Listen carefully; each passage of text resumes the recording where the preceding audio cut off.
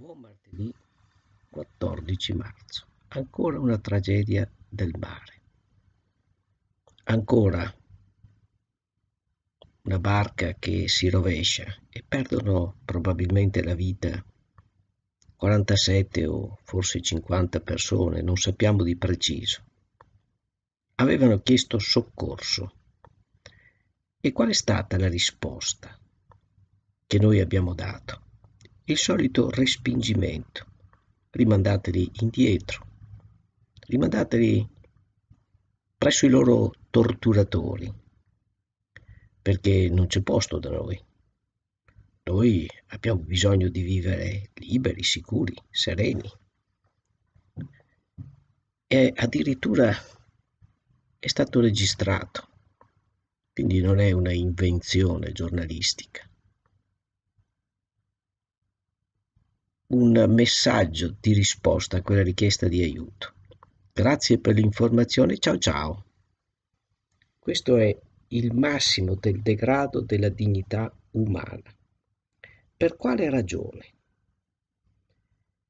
Probabilmente esecutori, funzionari, dirigenti, operatori nei centri di comando si sentono autorizzati a rispondere in questo modo. Si assumeranno la loro responsabilità, prima di tutto morale. Mi veniva da dire etica, ma l'etica l'hanno già svelata, il loro comportamento è assolutamente evidente, ma vi è una morale che trascende qualsiasi moralismo ed è quella che sta scritta nel libro della vita, rispetto al quale siamo chiamati a una vita autenticamente comunitaria, non respingente perché una vita respingente porta inevitabilmente, soprattutto l'Homo sapiens, a essere protagonista di terrore e catastrofi e si impedisce di vivere e può farlo serenamente, condividendo le risorse che ci sono. Molto semplicemente, ma molto difficile da farsi. Dunque, una risposta cinica e violenta implicitamente autorizzata da una classe dirigente di una politica che si è resa protagonista della costruzione del consenso sulla base della disseminazione della paura e della rassicurazione nei confronti degli elettori che quando loro sarebbero stati al comando, ebbene, non ci sarebbero più stati migranti, avrebbero chiuso i porti, chiuso le frontiere e avremmo vissuto nella bellezza del bel paese. Questo è stato il messaggio, accolto da una minoranza significativa e sostanzialmente reso piuttosto efficace anche attraverso l'ignavia di quanti stanno a guardare. Non si sono opposti. Una piccola minoranza si è opposta e si fa protagonista lungo le rotte della disperazione per salvare naufraghi, ma trovano sempre respingimenti. È giunto il tempo della rivolta e della ribellione contro noi stessi, contro, contro nostro, il nostro desiderio insano di non essere disturbati. Allo stesso tempo, però, quando abbiamo bisogno e chiediamo soccorso, vorremmo braccia aperte generosa disponibilità di poter attingere al bene comune per rimediare ai nostri drammi esistenziali e materiali. Abbiamo così inventato il 110%, il quale soccorre indistintamente ricchi e poveri, ma soprattutto favorisce i ricchi. Perché il più delle volte i poveri abitano in dimore che non hanno diritto di progredire nel percorso intricato delle classi energetiche. Perché classi energetica non significa significativo modo di vivere che riduca l'inquinamento, ma semplicemente possibilità di blindare le nostre case. Certo, è vero, inquineranno un po' meno, ma non in modo così significativo da evitare la catastrofe climatica. Quindi oggi abbiamo di fronte a noi delle scene straordinariamente efficaci nel rappresentare il nostro modo di porci nei confronti delle nostre fragilità, dei nostri errori e delle nostre colpe. Chiediamo perdono. Vogliamo essere perdonati per il tanto male che abbiamo fatto. Cerchiamo cuori e menti aperte che ci accolgano in una misericordia che ci concede la grazia del perdono. Ma allo stesso tempo siamo inflessibili nei confronti delle colpe altrui o delle colpe attribuite agli altri. Il Vangelo di oggi ci parla del servo che doveva al Signore 10.000 talenti, al padrone. E il padrone, vista la sua impossibilità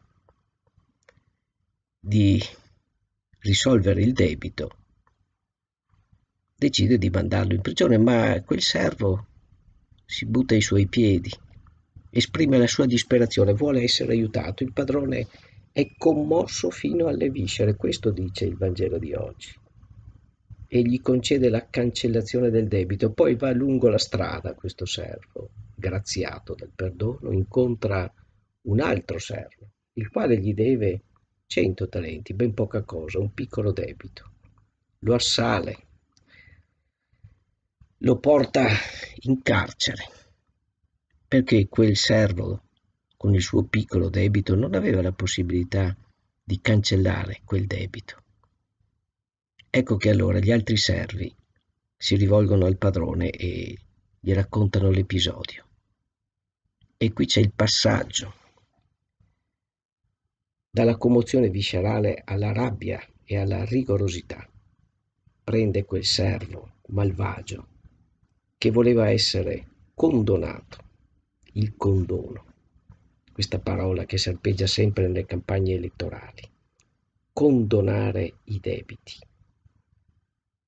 il dovuto che noi dobbiamo dare al bene comune, condonare. Vogliamo che l'Europa intervenga, che ci dia gli aiuti, perché siamo in difficoltà, siamo in debito. Il giorno dopo diventiamo acerrimi nemici dell'Europa. Questo è il modo di pensare e di agire di una coscienza ammorbata da un egocentrismo che vuole sempre essere graziato dal perdono e contemporaneamente si esprime nei confronti degli altri proprio in modo cinicamente rigoroso, respingente.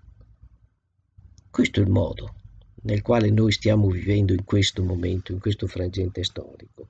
Il primo quadro è appunto questi soccorsi economici che possano perdonare l'improduttività generata da contesti critici nei quali abbiamo vissuto negli ultimi trent'anni, crisi economiche finanziarie, climatiche, geopolitiche, la guerra,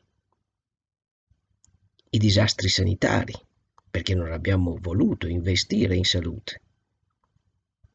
Ecco, tutto questo ci fa questuanti nei confronti delle nostre responsabilità che vogliamo siano graziate subito, ma poi diventiamo impietosi nei confronti dei, degli altri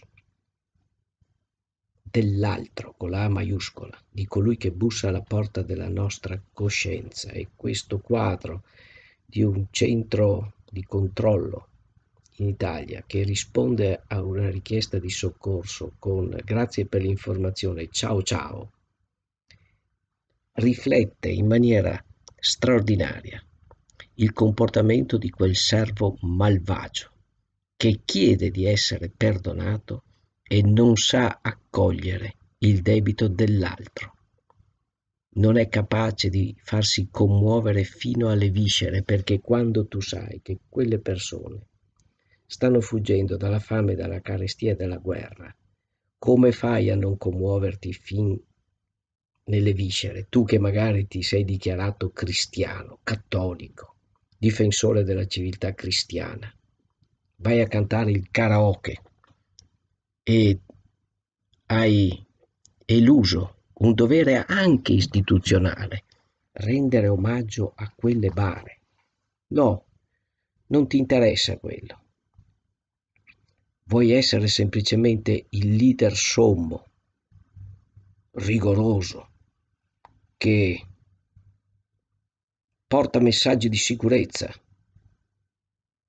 Non condonerò il debito ai poveri ma grazierò i ricchi, perché questo è il messaggio politico che oggi ha costruito un consenso minoritario, che grazie alle alchimie delle leggi elettorali permette di governare con una maggioranza assoluta.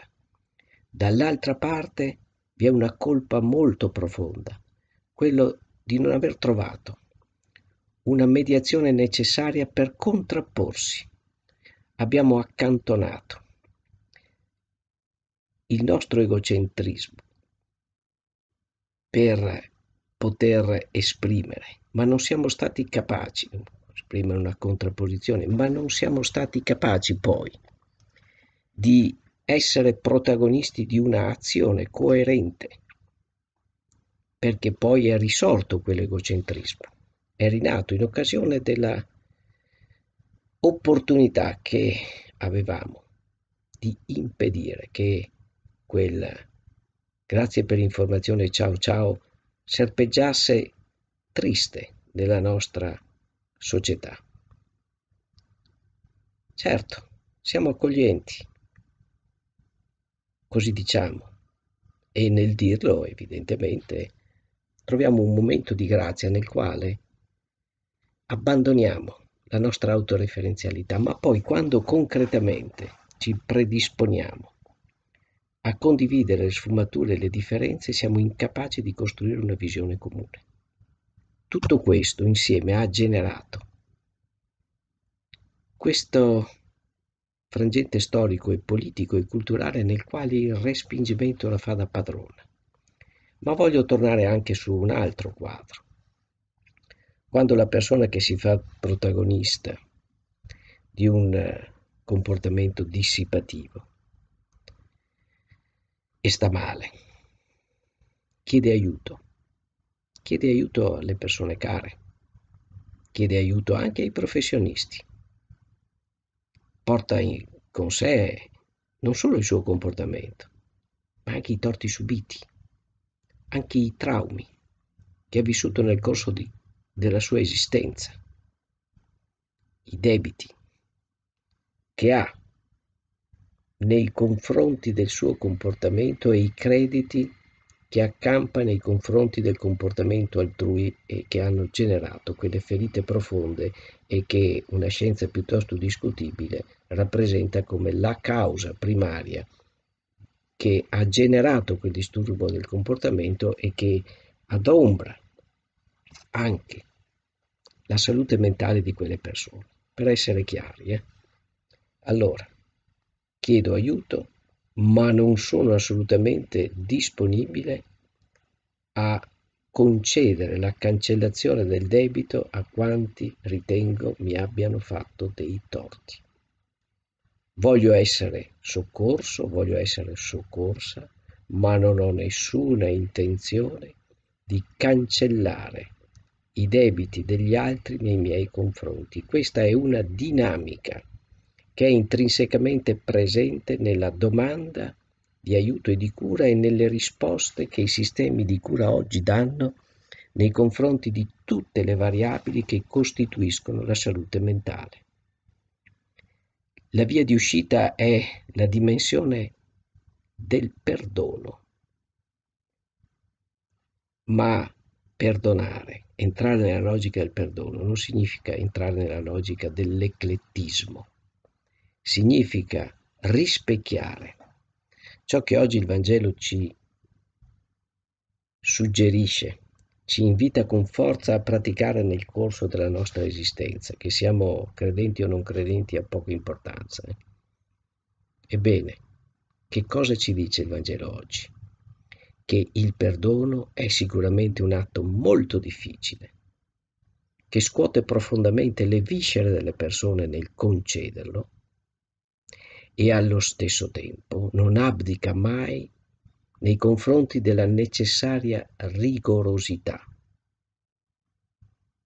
che tutti noi dobbiamo coltivare coltiv- e costruire nel corso della nostra esistenza, una rigorosità che è fatta di giustizia e di amore, che sono due aspetti inscindibili e che dovrebbero caratterizzare in maniera significativa la nostra esistenza. Dunque oggi l'invito è quello tutti, anche il più disperato sulla terra, di cancellare i debiti che sentiamo di vivere nella nostra esistenza, cancellare debiti e crediti, tutte e due le cose perché se siamo creditori nei confronti del prossimo, il prossimo è debitore nei nostri confronti. E la difficoltà estrema è esprimere tutto questo appunto nella rigorosità dell'amore e della giustizia. Essere protagonisti e testimoni di cancellazione di debiti e crediti, perché ognuno di noi è responsabile di ciò che accade. Dobbiamo mettercelo nella nostra coscienza questo modo di vedere le cose, responsabile, ma contemporaneamente attenzione. Il perdono non cancella la rigorosità della giustizia dell'amore.